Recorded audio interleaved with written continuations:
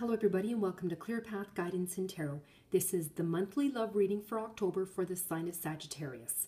And the, the deck that I'm using this month is the Lenormand Gilded Reverie Lenormand deck. And that is the box that it came in. It's a very, very beautiful deck. It's a little bit harder deck to read. Um, they're meant to be read in pairs, so I do go to the book for a little confirmation about um, the cards.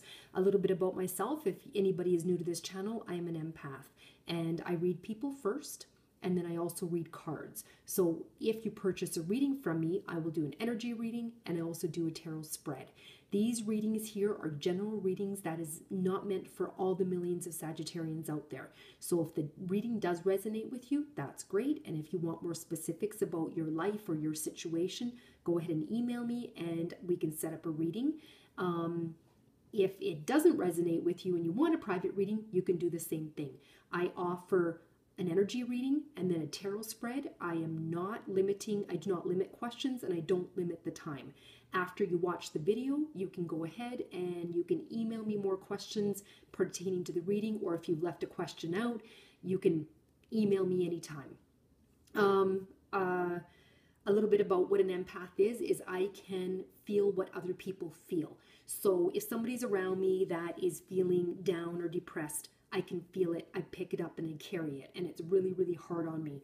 I don't like being around crowds. I don't like being around a whole lot of people. Energy kind of flies at me. I like being alone in solitude, in nature, around water, mountains, animals, that kind of a thing, the things that do not suck my energy. So if you need a reading because you're in a relationship that's kind of sucking and you don't know what's going on, you feel like you're not being on it, somebody's not being honest with you, I can read that person's energy. And I, I feel like the person's cheating. That's that's the that's what I pick up. I pick up that feeling of how, how I would feel if I was cheating on somebody or if I'm in love with somebody, I pick up that love and I'm like, oh, this person really loves you, you know, that kind of a thing. So I'm very, very good with um, picking up energies from other people. So if you have some confusion going on, drop me an email, and um, usually I can get a reading done within, at the very latest, 48 hours. Okay. All right, so on with the reading now. The very first card here is the Tower, and this isn't the same as the Tower in any other deck. This is a very strong structure here. You can see it's a tower. It's made out of, out of cement or whatever you want to call this. It's not something that's hard to be knocked over. So this stands as a pillar of strength. So the relationship that you're in perhaps is very strong and nothing can knock it over. This would be very hard to knock this this building over.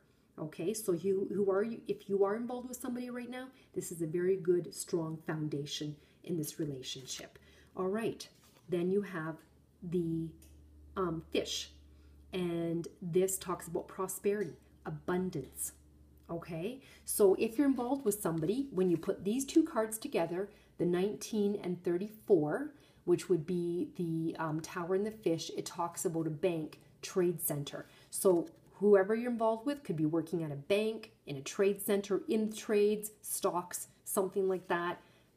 That doesn't necessarily mean it's just somebody who perhaps maybe even have power or money, but this really talks about a strong foundation with someone who may have some money or be involved in the money business of some sort.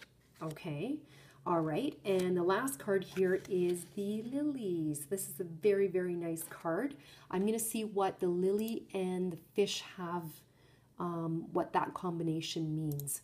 So the fish and number 30 is uh, Lily, established business. So this relationship that you have with this person is very strong.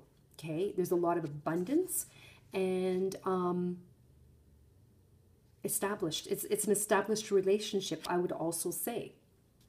I'm going to go to the book on this one as well and see what comes up. A beautiful card. All right. The lily from pagan views is symbolic of sexuality and passion, but also of purity. It can also symbolize motherhood. As a result, these calm looking flowers with their glass engraved background reflect a range of interpretations that they are both growing and yet eternally captured in smooth glass without any of their essence without any of their essence shows the two sides of this card. We might suggest that they are a range of excitement, sexual, nurturing, or the abundance, or sorry, the absence of that excitement in chastity. Okay, so what this card here is saying is that this resembles sexuality.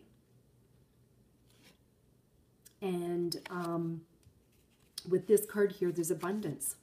All right, whoever you're involved with, any of you Sagittarians, it's a very strong man or woman. You know, I feel, and it's full of lots of passion. So this is a really, really nice reading. I'm a Sagittarius. It'd be nice for me to get this reading. So really, it's it's a good strong foundation that you have with somebody who could be powerful in some way with money, making a lot of money. Um, but there's a lot of abundance here and a lot of passion and sexuality. Okay.